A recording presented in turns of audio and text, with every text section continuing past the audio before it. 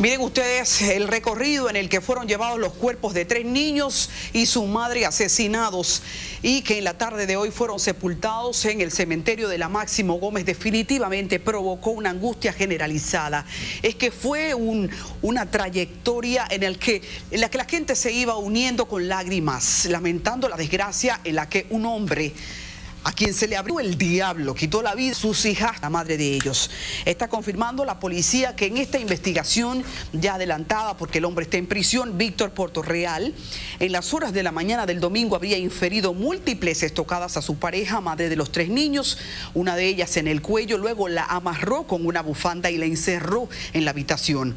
Él, luego de quitar la vida a la mujer, se desplazó hacia la habitación de los niños. Buscó a la niña de seis años que estaba dormida y la ahorcó con una corbata. Lo mismo hizo con su hermanita. Y todo indica también que luego de matarlas, las violó. Asimismo, Puerto Real duró todo el día, según la investigación, con el niño. Esperó que se durmiera y lo mató al día siguiente unas imágenes que en la barriada cuando iban saliendo en el trayecto hacia el cementerio harían llorar al más fuerte.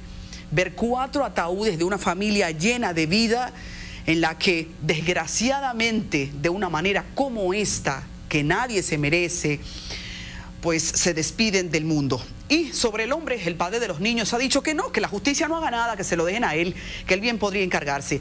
Asimismo, gente en la barriada señalaba que lo suelten, que lo suelten para lincharlo y infiriendo contra él todo tipo de maledicencias.